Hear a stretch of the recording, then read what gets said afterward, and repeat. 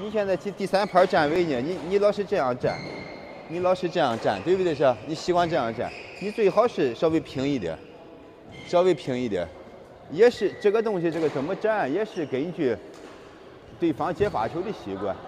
如果是你往前中间的球多的话，你这样站没问题。但是你这样侧那么多带来的不好在哪呢？是你这一拍就慢。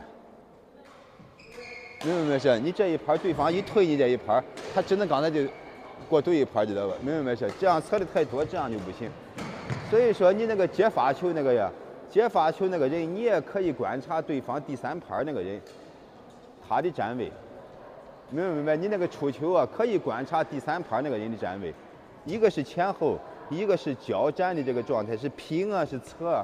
如果这样站的话，肯定那个点慢。你看刚才他就习惯这样站，那个点一出去，这一拍形不成进攻，过人以后只能拦一拍，知道不是？抖音。